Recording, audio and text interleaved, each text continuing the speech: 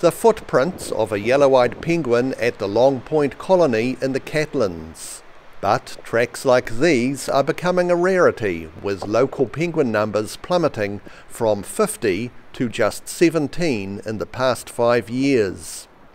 Yellow-eyed Penguin Trust member Alan Burgess says when they acquired the site nearly 10 years ago, a deer fence was put up to keep sheep away, with the idea of returning it to nature. Sheep have got to come back in, open up the tracks.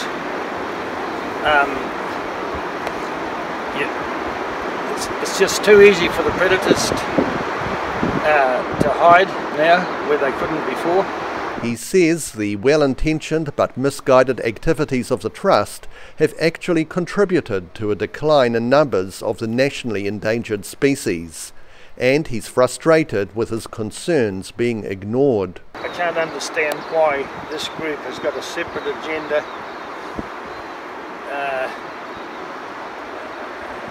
detrimental to the welfare of the penguin colony that was here.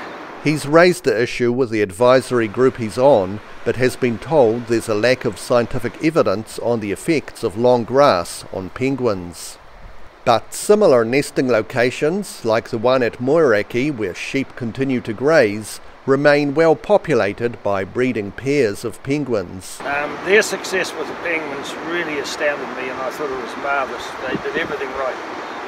Uh, they opened up the, the bush, the, the coastal scrub, they opened that up and they had no long grass for predators to hide. The Trust has been presented with his concerns.